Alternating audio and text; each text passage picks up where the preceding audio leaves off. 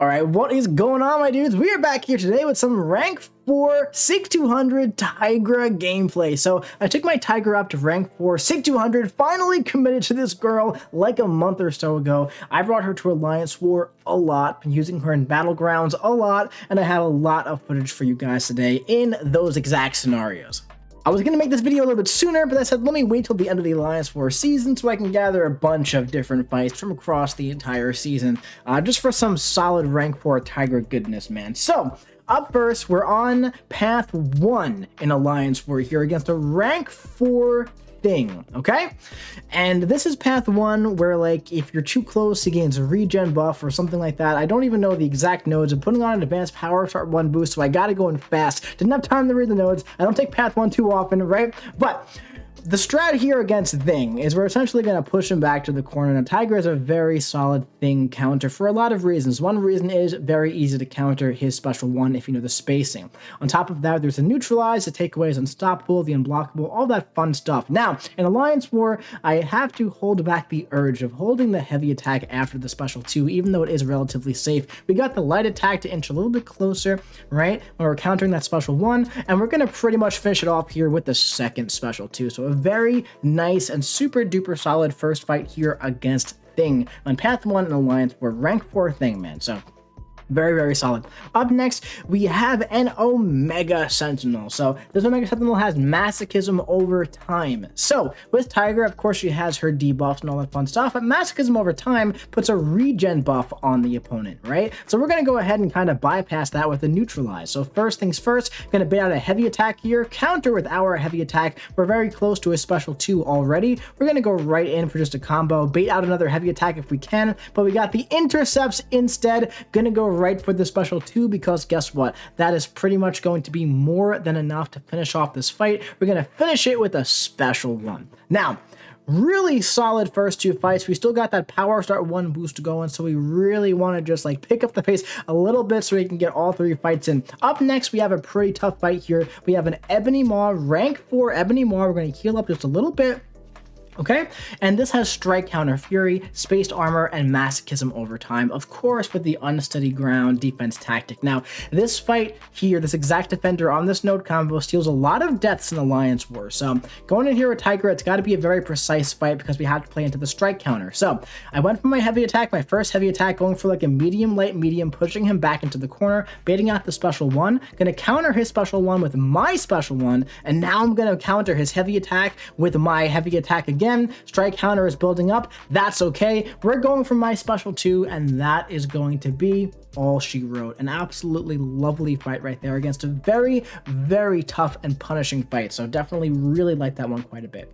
And up next, we have Galan. Now, Tigra just makes Galan an absolute joke. This is Rich Get Richer, Opportunist, Mystic Ward, all of these knows that Tigra just does not care about because as long as you start out very strong here and get the first hit, right, you get the neutralize up, then hey man, you're pretty much good to go. You know, Galan's not really going to be gaining any buffs here. Now, his special one is really fun to counter with Tigra. You can dash in with the heavy attack, right? Going to go ahead and chain that heavy attack in the corner here. Going to go for the special two, and guess what?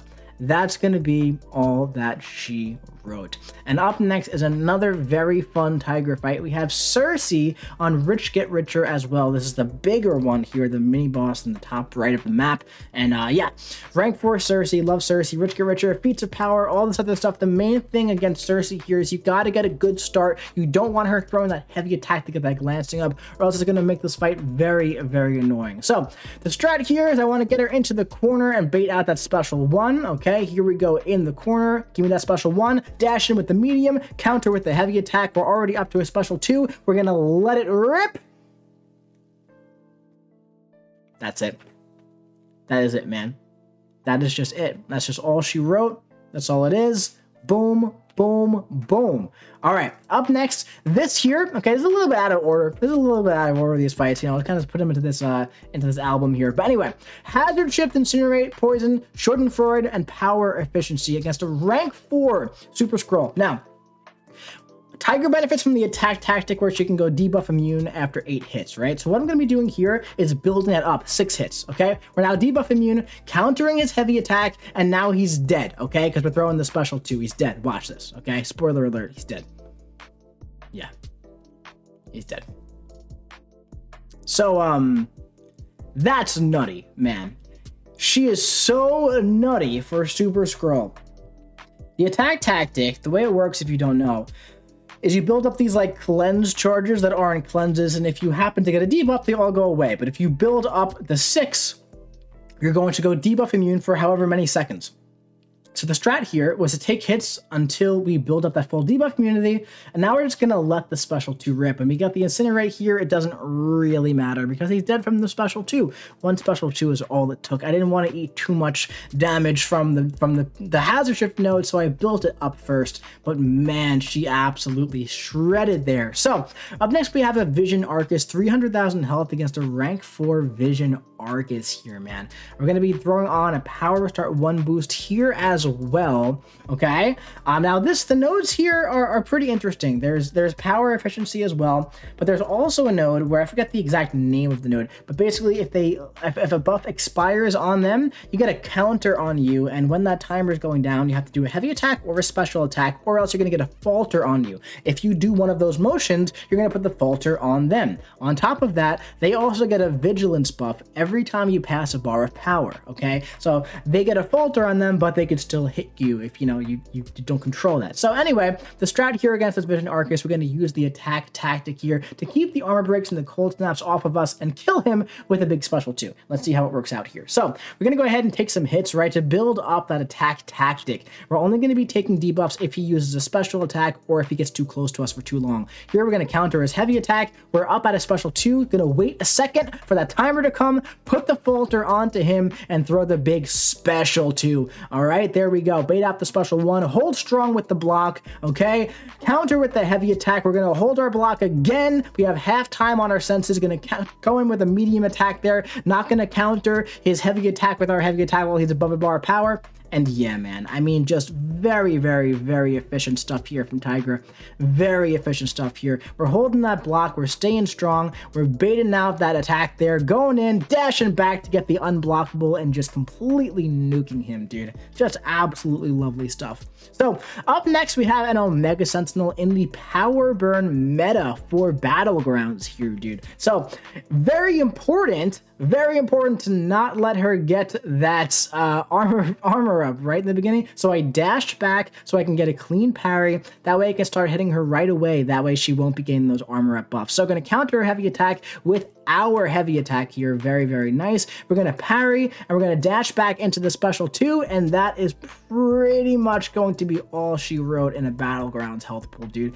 Tigra is just absolutely nutty for Battlegrounds health pools, as I'm sure all of you guys know, man. So here is a Dragon Man, actually. Now, Tigra, Rintrah, all those neutralized champions are very, very fun for Dragon Man because you can see I'm slowing down my combo a little bit here because I'm trying to time it with that power charge buff coming back because once it's gone, it's just literally gone. So I'm going to counter his heavy attack here with my heavy attack. I'm up to my special two. We're good to go to counter when it comes to his power here. I'm not too concerned about pushing to a special three. Okay, not concerned about Mystic Dispersion. Gonna bait out the special two, block the first part, dex back, and counter with my heavy attack. Okay, and and now we're pretty much good to go. We're right under two bars of power. Gonna bait out a heavy attack. Gonna go for our heavy attack here. We whiffed the first hit, but we're gonna finish off with a nice special two. And that dragon dude is just flushed right down the toilet right there, man. He's just gone down the drain. Goodbye, buddy. All right, up next we have an Omega Sentinel here, another rank 4 one on Rich Get Richer on path 8. So again, very important here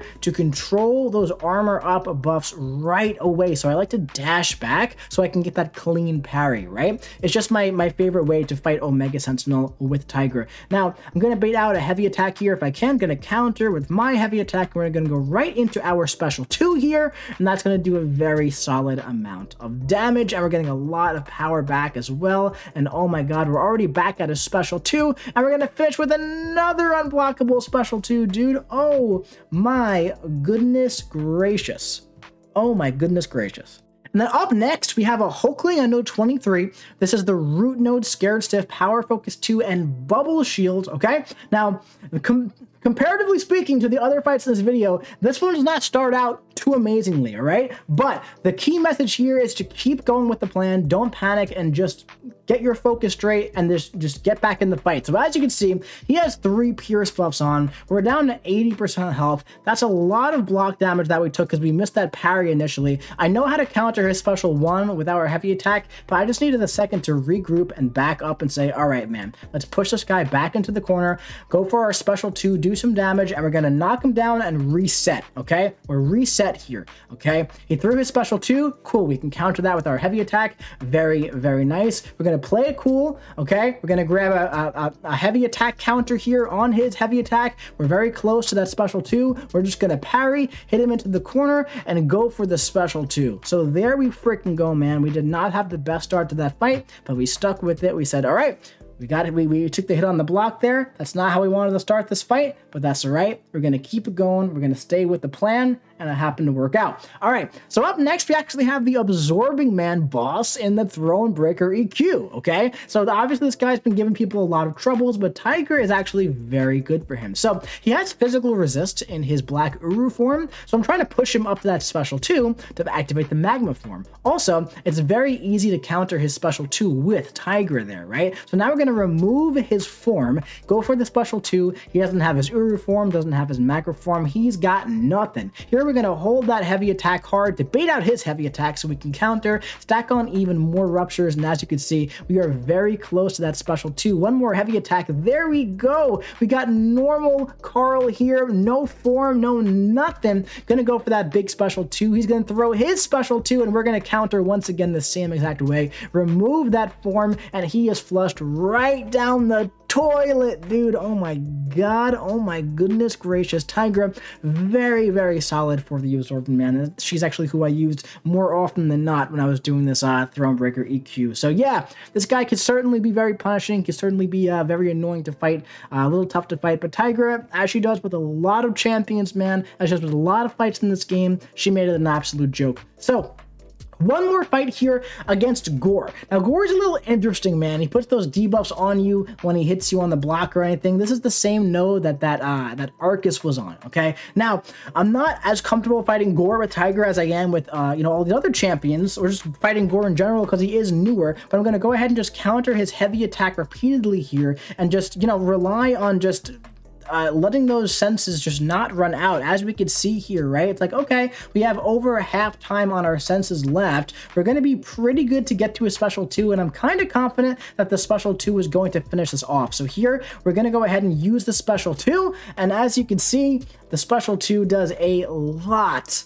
a lot, a lot of damage, and that's just it that's just it, man. So yeah, uh, definitely could be a little bit cleaner on the Gorr fight, no doubt about that. That's more or less just like an, uh, a slightly uncomfortable fighting Gorr thing, as opposed to Tigra isn't the best for Gorr thing, because she's she's definitely very good for Gorr, especially if he plays into you, and the attack tactic there definitely helps keeping those debuffs off. But hey, man, the point of this video, as everybody knows, this is not new information. Rank 4 Tigra is absolutely busted, dude. The only thing that's ever been holding me back from ranking up Tigra uh, and really putting in the time to get good with Tigra in the past was just like, you know, she was SIG 40 for the longest time, and you know, does Tigra need to be duped? No, but it's like playing an playing a low sig Tigra is really it's just not it. It's not it, man. Your senses last like three seconds in the beginning. You have to play ultra hyper aggressively, or you have to go for special ones before the special two. It's not fun for me, man. So for me, for Tigra,